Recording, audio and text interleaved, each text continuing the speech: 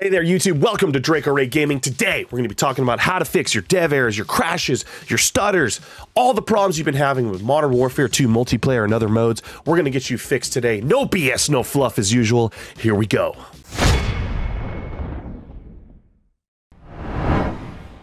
Boom shakalaka, here we are. First thing you want to do, make sure your drivers are updated, Windows is updated, your game is updated. Reboot, go into BattleNet. I know. Make sure your updates are done. Okay, we got to be on the current version. Uh, so go ahead and go to Show Explorer. Click the little gear icon down here. Click Show and Explore. Make sure you're on Modern Warfare 2. Uh, show and Explore. We want to look at the game files. So there's some things they did different. I've done a lot of videos on how to fix Modern Warfare 1, 2018/19, as well as Warzone, Black Ops, Vanguard, you name it. Um, I've dug through these files. I've found some secrets. They've renamed some things, moved some things around, but the game still has the same issues with stuttering or crashes or scan repair errors or dev errors or all this kind of stuff. So I, I've narrowed it down. I've done a lot of testing over the last weeks. You can't, and I'm releasing this video now a few weeks after the game has come out because you need time for the driver releases and patches to stabilize and then to kind of stabilize the game a bit. Uh, otherwise, you're going to be the video is just not going to be current. So this is going to be a very nice current video of what to actually do to fix these issues. Um, so what you can see is uh, they've I, they've they've basically called it Call of Duty the folder. Um, and what I had before in my documents folder is you'd have Call of Duty, Black Ops, Cold War, Modern Warfare, Vanguard, Vanguard Public Beta, whatever. Now they're just calling it Call of Duty uh, in documents. So there's two file locations.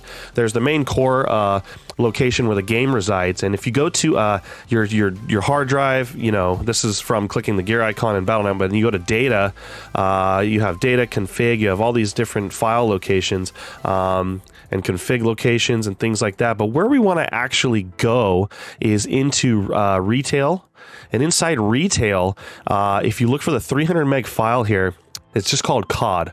Uh, they're not calling it anything else, which is interesting. It's a 303 megabyte file. You want to actually go to properties on that, right click, go to properties, compatibility. You want to check this, run this program as administrator, and then you want to click OK. Now, a lot of people get confused. They think that this has to do with making the game uh, process run first or run higher. That's not what it does. It basically gives the application all of the uh, permissions it needs within the operating system to run correctly. So if there's any part of the game that's trying to uh, to run and it can, or it's getting blocked because it doesn't have admin admin permissions. It now has that. So this could fix a lot of issues for you as simple as that. A lot of people don't run it as admin. I always run it as admin because it avoids a lot of issues. So once you've done that in the core location and you can go to documents now, there's something called, now I had the beta, so there's players beta, but you should have at players. You should have documents, Call of Duty, players, now, inside players, um, there's a config file. This is not the file where you change the majority of the things, and you can see it's labeled with a lot of memory address hex uh, coding.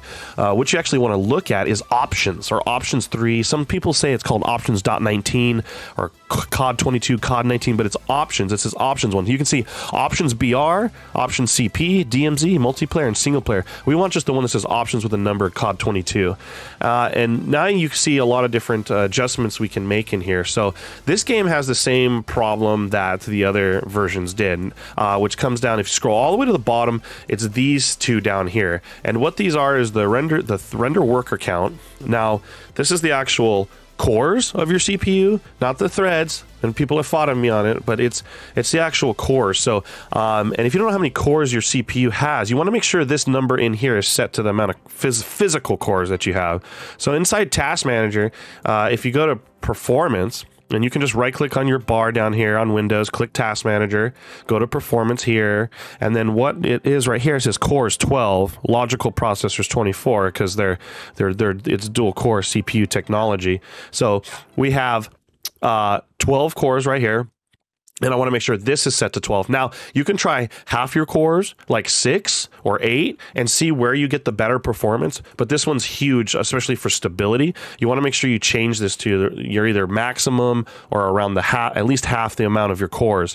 Uh, depends on CPU. It's very CPU dependent if you have Intel or AMD, right? Uh, so try different numbers here and just click uh, save and then reboot your game and then try and see if you get a better stability window. Now, this game, in my opinion, uh, still has a very memory bleed issue. They always have. It's not optimized for PC. So this is your your actual GPU video memory scale. You can see memory scale, and it's set to about 0.8500, which is is around 85%. Now you can adjust this in game or here.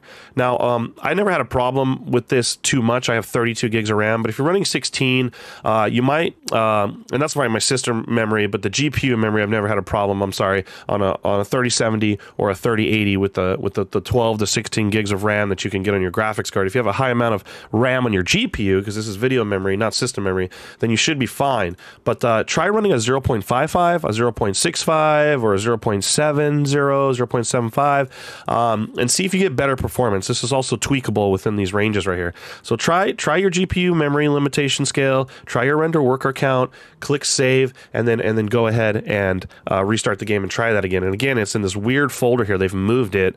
Uh, documents Call of Duty players uh, options folder, not options with a game mode or config. It's just options uh, with some numbers on it.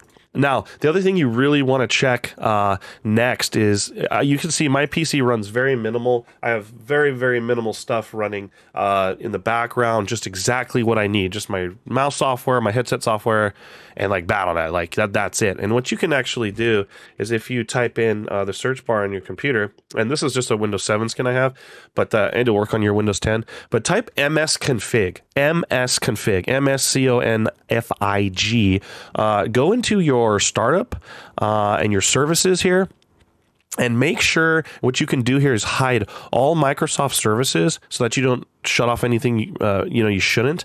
And these are a bunch of different services that start up on system boot up and etc. that are running right now. And what you can do is go through them like Origin Player and NVIDIA Broadcast or Future Mark software, and you can actually enable or disable them and apply that and free up some system resources, especially because the game doesn't have a lot of friendly, doesn't play friendly with a lot of different softwares. So make sure that's cleaned up. Um, also, you can go to your startup. You can do that again in Task Manager. Here's your startup. Uh, programs that were starting up on the when you boot your PC, and now you can you can right click these and disable them or enable them and control what starts when your PC is starting. And this is huge. Uh, all these things I'm showing you are huge, huge for gaining stability in your system. So as a recap. We've gone over startup and boot processes and services, making sure those are clean, making sure all your stuff's up to date, uh, con- changing the configuration folder to make sure it matches your CPU cores, running an administrator. Um, all these different things I've shown you is going to create a lot of system stability for you and hopefully get rid of a lot of dev errors and scan and repair errors. I'm Draco Ray here to help the gaming community, and I'll see you next time.